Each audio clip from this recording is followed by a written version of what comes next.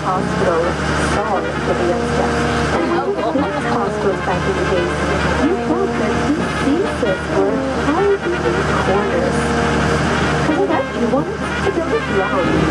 is you here on your left, follow on your right. That's where we're going to take the boat. Then, uh,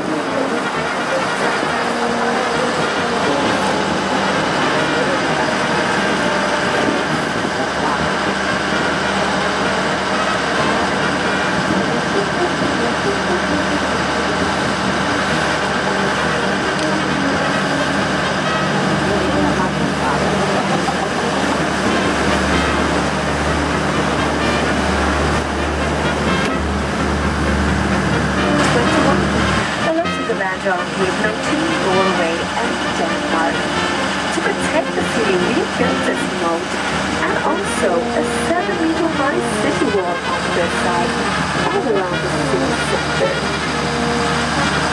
As you might know, Gothenburg has a really wanted what I will tell you in time. So please remain seated and do not touch the bridges. Okay, then we're ready. The house the ground. We can also see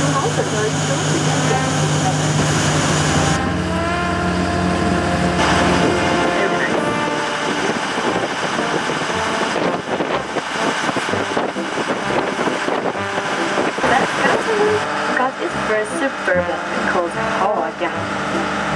So many of these wooden houses are still kept here in Haga today. That makes it a cozy place with a lot of cafes.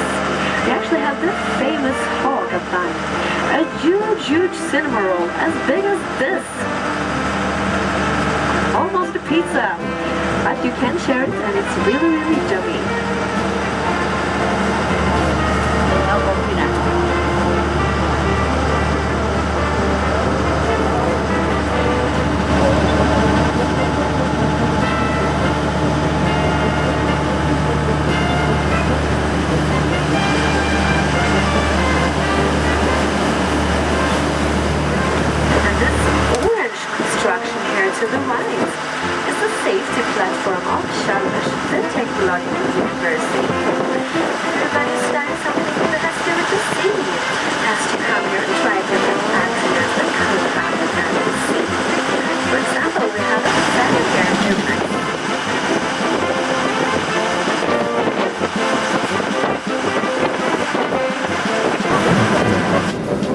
Other shops can stay open whenever they want to.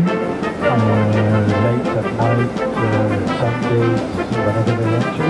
But most of these shops, they operate under strict rules, strict regulations. And they open.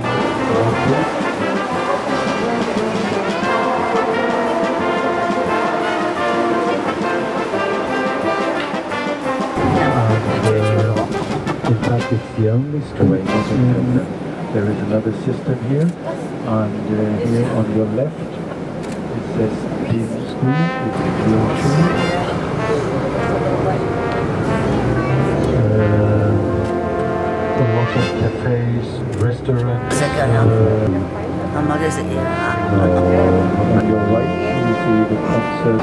Uh, in front of us, the town and city theatre with two big stages. Some well-known actors, well-known in Sweden anyway. And uh, here on your right, you have the Museum for uh, Art, mainly Scandinavian art, but you also find the big masters like Rembrandt, Rubens, Picasso and so on. It's really good museum. Here's the two trees there. Can you see him? Yeah. And you can see his name there to the left of the entrance. It's written Hasselblad Center. And he was uh, quite well known in those days, the founder of this company, Victor Hasselblad. And uh, he went a lot to the US, and on one of his trips to the US, he was asked when entering uh, the US, someone recognized his name in the passport, and they asked him, have you got anything to do with the Hasselblad Carl Miller? Say and we with the coaches and people didn't like in the but, I think you can play with it and see very often. There is, is no water today. So would anyone like to get off roller coaster with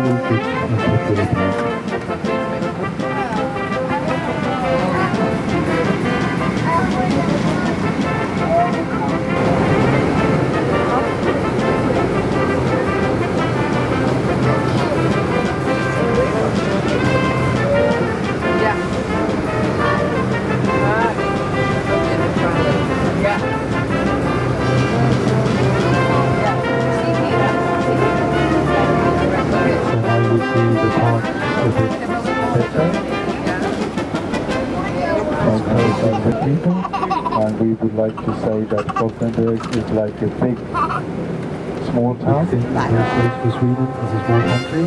I don't think we will ever experience that again. But uh, that would be the big thing. So the big, uh, that's probably the biggest that has happened here. World Cup football in 1992. We hosted uh, Euro Cup football in 1995 with